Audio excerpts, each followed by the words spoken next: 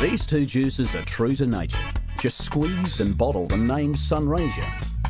With these, we don't reconstitute. No funny tricks, just juice from fruit.